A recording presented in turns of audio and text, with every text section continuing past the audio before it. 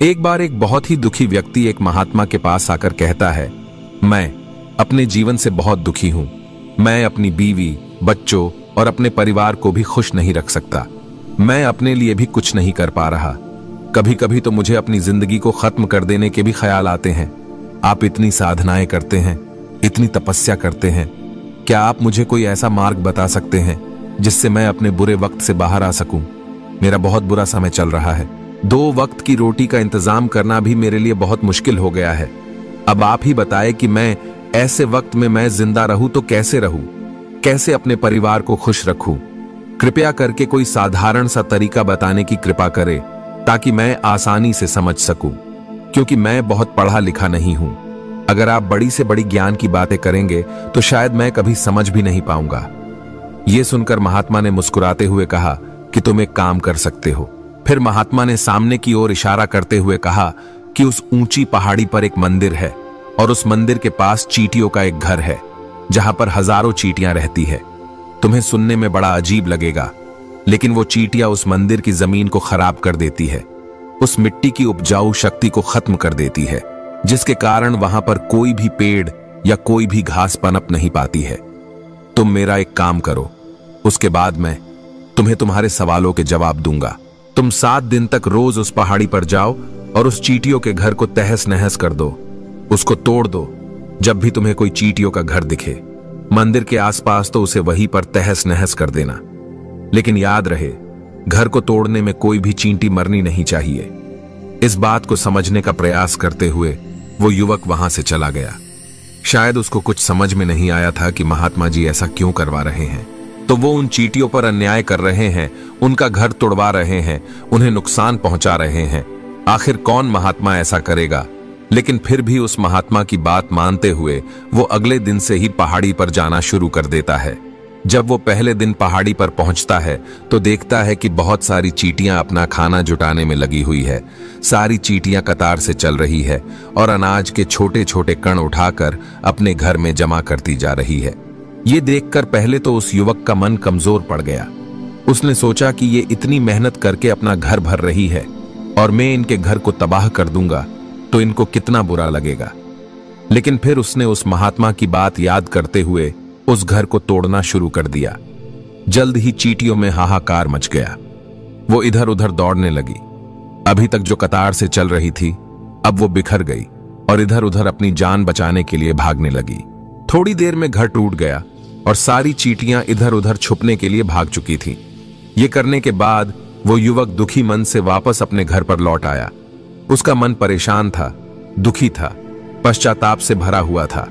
फिर उसने अपने बिस्तर पर रात में लेटे लेटे ही सोचा कि अब तो उन चीटियों का घर तबाह हो चुका है।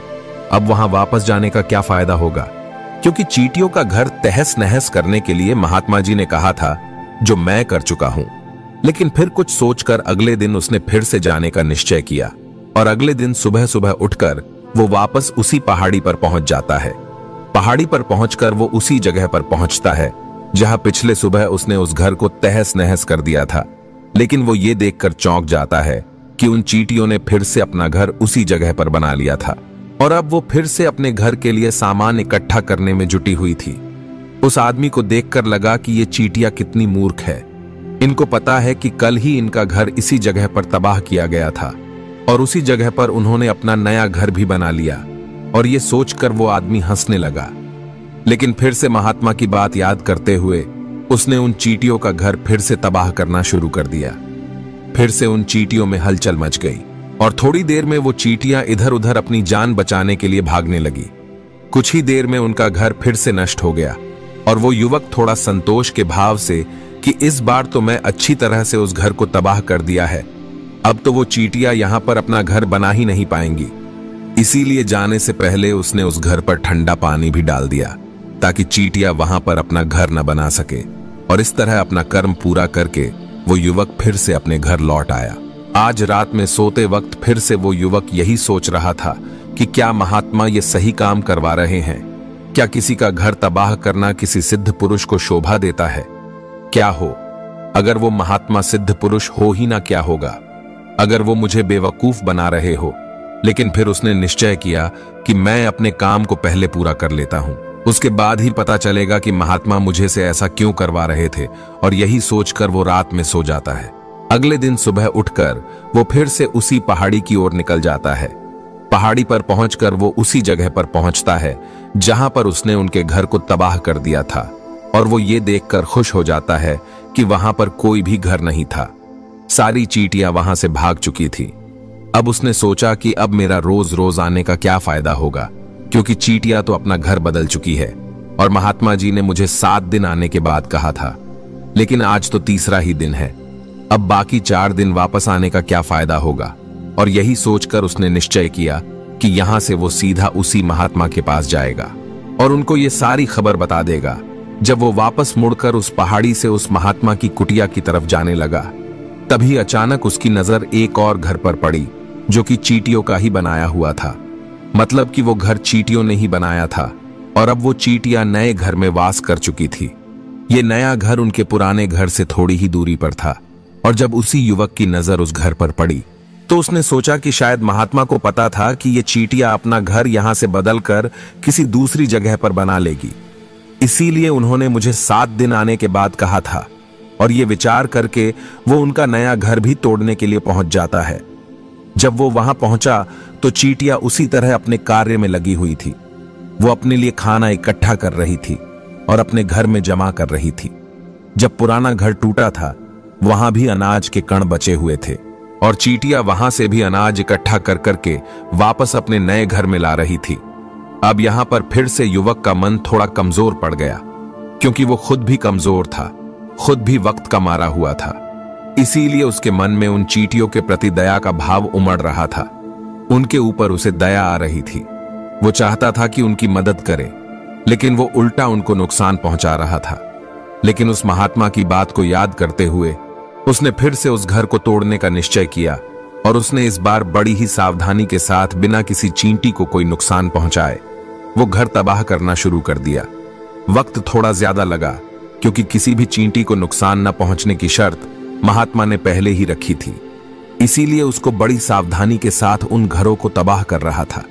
लेकिन आखिरकार उसने उस घर को भी तबाह कर दिया, और उस घर को तबाह करने के बाद वो बड़े ही दुखी मन से इस बार वो पहले से भी ज़्यादा दुखी था। क्योंकि उसने उनका नया घर भी तोड़ दिया था। वो उन चीटियों को बसने ही नहीं दे रहा था, और वो अब अपने आप को शैतान या दानव समझने लगा था।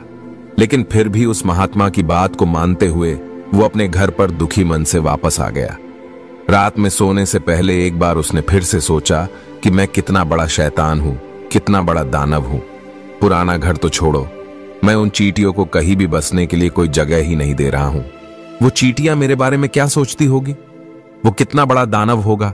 उस परमात्मा को जो मेरे द्वारा ये काम करवा रहा है। लेकिन फिर भी उसने अगले दिन जाने का निश्चय किया और अगले दिन सुबह सुबह वो फिर से वहाँ पर पहुँच गया। वो ये देखकर फिर से आश्चर्यचकित रह जाता है कि इस बार चीटियों ने एक और नई जगह पर अपना घर बना लिया था। वो तो पहले से भी ज़्यादा ऊर्जा के साथ काम कर रही थी और उन्होंने एक रात में पहले से भी बड़ा घर बना लिया था और अब वो फिर से अपना अनाज और खाना इकट्ठा करने में जुटी हुई थी। ये देखकर उस आदमी को लगा कि ये चीटिया किस मिट्टी की बनी हुई है। मैं उनको बार बार यहाँ से भगाने की कोशिश कर रहा हूँ और ये वहीं पर अपना घर बना लेती है। क्या इनको पता नहीं है कि मैं यहाँ पर कभी भी बसने नहीं दूँगा? ये चींटी है, दिखने में इतनी छोटी है, लेकिन फिर भी ये मुझसे हार नहीं मान रही है। बड़ी ताज्जुब की बात है, और इस बार उसने गुस्से में उस घर को तहस नहस करना शुरू कर दिया। लेकिन इस बार तहस नहस करते हुए कुछ चीटियाँ वहीं पर मर गई। उसके पैरों तले कुचल दी गई। कुचलने के बाद जब वो अपने अहंकार से बाहर आया तो उसने देखा कि गुस्से में उसने उन चीटियों को कितना क्षति पहुँचा दी है। उसका मन पश्चाताप से भर गया और वो रोता हुआ अपने घर की तरफ़ बढ़ गया। रात में सोते वक्त उसने सोचा कि मैं उन चीटियों पर बहुत ज़्यादा अत्याचार कर रहा हूँ। अब इससे ज़्यादा अत्याचार मैं नहीं कर पाऊँगा। और यही सोचकर वो अगले दिन उन चीटियों के लिए अपने घर से थोड़ा आटा लेकर उसी पहाड़ी पर पहुँच जाता है। आज उसके मन में उन चीटियों के प्रति श्रद्धा का भाव था, दया का भाव था। आज वो उनकी मदद करना चाहता था और जब वो वहाँ पर पहुँचा तो चीटिया फिर से अपने नए घर को बनाने में जुटी हुई थी।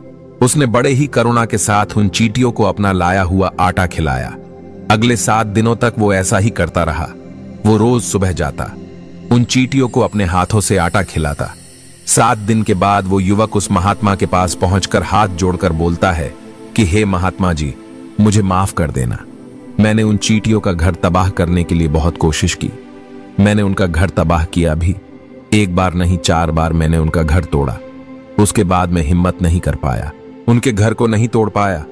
मैं समझ सकता हूँ कि मैं आपका काम पूरा नहीं किया, और इसके बदले आप मुझे तरीका भी नहीं बताएँगे। जो कि मुझे मेरे बुरे समय से बाहर निकाल सकता है। लेकिन मुझे इसका कोई परवाह नहीं है। मुझे लगता है कि मैंने जो किया, वो सही किया। इसीलिए मैं आपसे आज्ञा लेकर वापस जा रहा हूँ। कृपया मुझे वापस अपने घर जाने की आज्ञा दीजिए।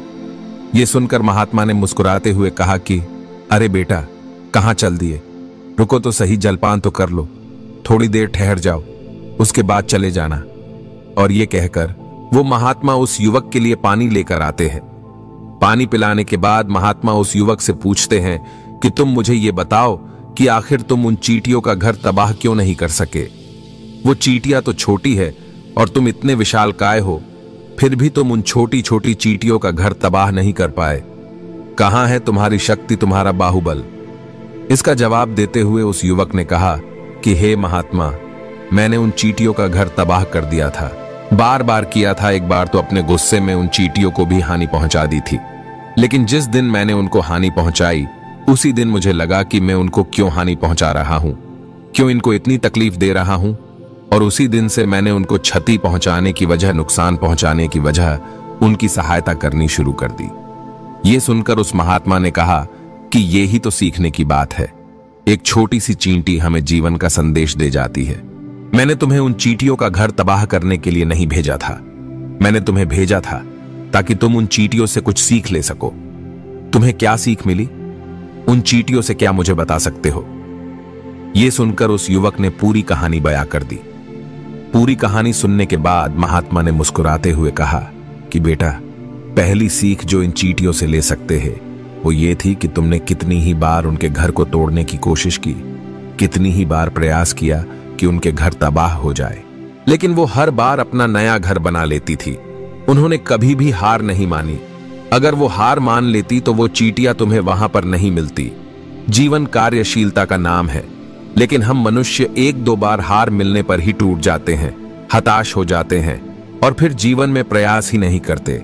और कुछ लोग तो अपनी ज़िंदगी को खत्म करने को उतारू हो जाते हैं। लेकिन जानवरों में तुमने एक बात देखी होगी कि वो अपना जीवन खुद से कभी खत्म कर ही नहीं सकते हैं। तुमने कभी नहीं सुना होगा कि किसी जानवर ने आत्महत्या कर ली। चाहे वो जानवर कितना भी भूखा क्यों ना हो, कितना ही दुखी क्यों ना हो, लेकिन वो अपने जीवन के लिए हमेशा संघर्ष करता रहता है। लेकिन वही दूसरी तरफ़, हम मनुष्य एक दो बार हताश होने पर ही अपना जीवन खत्म कर लेते हैं। जीवन तो कर्मशीलता है। कर्म करने का नाम है। जीवन और मृत्यु आखिरी विश्राम है, परम विश्राम है। इसीलिए मृत्यु से पहले कर्म करना कभी मत छोड़ना, क्योंकि मृत्यु के बाद तो तुम परम विश्राम में चले ही जाओगे तो उससे पहले कर्म करना क्यों छोड़ रहे हो? क्यों हताश हो रहे हो? अगर तुम्हारा एक घर टूट गया है तो दूसरा घर बनाने का प्रयास करो, कोशिश करो, और कोशिश करने वालों की कभी हार नहीं होती। ये तुम उन चीटियों से देख चुके हो। देखने में तुमसे कितनी छोटी है, वो चीटिया, और तुम इतने बड़े हो। लेकिन उनका मन तुम्हारा मन से इतना बड़ा है, इतना विशाल है इतना दृढ़ संकल्प है कि इतनी बार घर टूटने पर भी उन चीटियों ने कभी हार नहीं मानी। दूसरी सीख यह है कि जब भी हमारे ऊपर बुरा समय आता है, हमें लगता है कि यह समय कभी नहीं जाएगा। ये समय मेरे जीवन को बर्बाद कर देगा, मुझे कभी नहीं जीने देगा, और अपने इन्हीं ख्यालों से, अपने इन्हीं विचारों से, जिसका असलियत में कोई भी अस्तित्व नहीं है। वो सिर्फ़ विचार है, और वही विचार हमारे मन को दुखी कर देती है। और इसीलिए हम प्रयास करना भी छोड़ देते हैं। लेकिन तुम खुद सोचो कि बार बार प्रकृति हमें क्षति पहुंचाएगी, नुकसान पहुंचाएगी, लेकिन कब तक पहुंचाएगी? अगर हम बार बार फिर से उठ के फिर से नया प्रयास करते रहेंगे तो प्रकृति भी हमारे सामने घुटने टेक देगी, और वो भी एक दिन हमारे ऊपर दयावान हो जाएगी, कृपालु हो जाएगी, और वो हमें सब कुछ देने लगेगी। जिसकी हमने कभी कामना की थी? तुमने खुद देखा कि तुम उन चीटियों को तबाह करने के लिए पहुँचे थे। लेकिन बाद में तुम ही उन चीटियों को अनाज और आटा देने लगे। तुम ही उन पर कृपालु हो गए। क्यों हुए? क्योंकि तुमने देखा कि वो चीटियाँ हार ही नहीं मान रही है। इसी तरह, अगर तुम भी अपने जीवन में कभी हार नहीं मानोगे तो एक न एक दिन ये प्रकृति तुम्हें वो सब कुछ देगी, जो तुम अपने जीवन में पाना चाहते थे। इसीलिए दो सीख याद रखना, कर्मशीलता कार्य करते जाना, और दूसरा कि एक न एक दिन प्रकृति तुम्हारी उस कर्म का परिणाम तुम्हें ज़रूर देगी। तो दोस्तों, मैं आशा करता हूँ कि आपको इस वीडियो से काफ़ी कुछ सीखने को मिला होगा। तो फिर मिलते हैं अगले वीडियो में।